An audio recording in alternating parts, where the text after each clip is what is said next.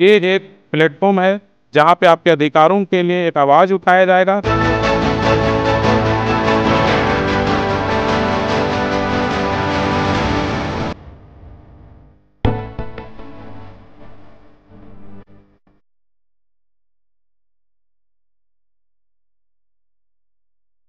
शहरों का विकास शहर के लोग कर लेते हैं।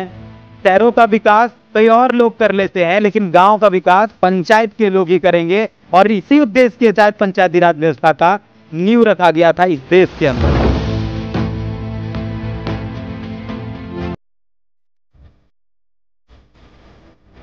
अगर हम लोग पूरे देश में देखते हैं तो कोई भी विकसित राज्य की ओर देखते हैं तो वो राज्य विकसित इसलिए है क्योंकि वहाँ पंचायत का सशक्तिकरण हुआ है।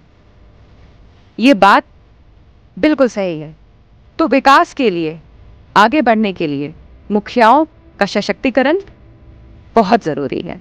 पंचायत चुनाव होने के बाद पहली बार हमको लगता है कि किसी ने मान सम्मान देने का कार्य किया है। सभी माननीय मुखिया दलों का मुखिया सम्मेलन करा रहे हैं।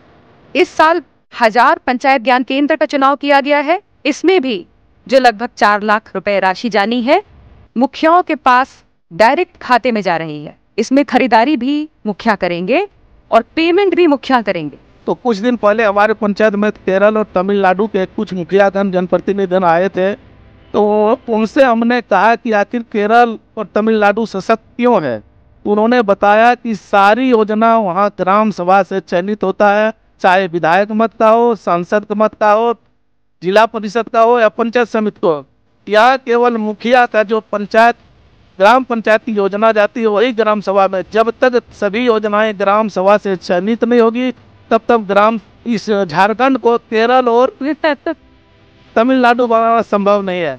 मैंने शुरुआत में एक बात कहा था और इस बात पर मैंने गंभीरता से कहा था। आप स्थानीय सरकार से हैं। आप अलग टीम में नहीं हैं। आप और राज्य सरकार एक टीम है। आप अपने आप को अलग नहीं देखिए।